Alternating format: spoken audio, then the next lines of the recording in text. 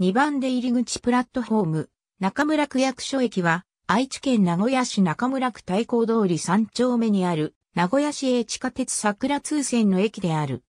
駅番号は S01、アクセントカラーは水あさぎ。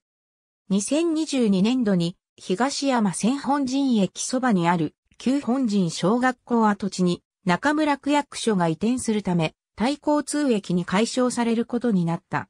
島式ホーム一面二線を有する地下駅で可動式ホーム柵が設置されている。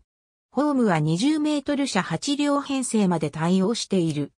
当駅は、これまでは桜通線駅、務区今池管区駅の管轄であったが、2018年7月より桜通線の駅としては初めて桜通線運転区の管轄となった。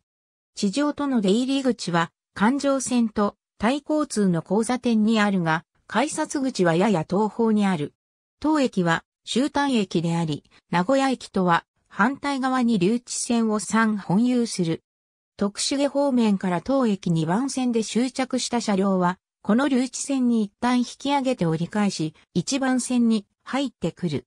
この留置線は、かつて中村区役所検釈として、車両の簡単な清掃や研修、日常検査などを行っていた。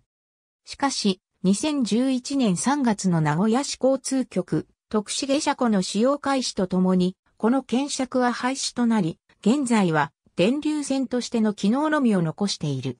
2019年度の乗車人員は240万4475人で、1日平均乗車人員は6570人である。開業以降の年度別乗車人員の推移は下表の通りである。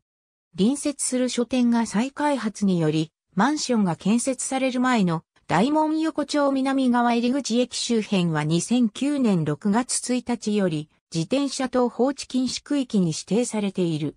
最寄り停留所は太閤通りと環状線の交差点付近にある中村区役所である。以下の路線が乗り入れ、名古屋市営バス、名鉄バスにより運行されている。ありがとうございます。